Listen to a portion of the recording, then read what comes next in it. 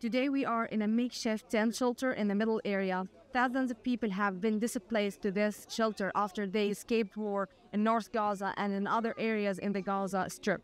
It's also important to state that women in Gaza bear the greatest brunt of this war. Many women here lack access to almost everything. They are grappling with poor shelter and sanitation conditions.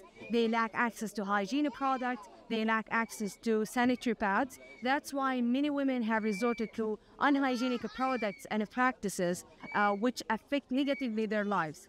Many women started to develop uh, diseases due to these unhygienic practices. That's why today Oxfam and other partners in Gaza distributed what we call it female kits, which included the much needed uh, items that women in Gaza need. However, it's really important to require and demand a quick and a swift ceasefire so that we can work uh, more safely in the Gaza Strip.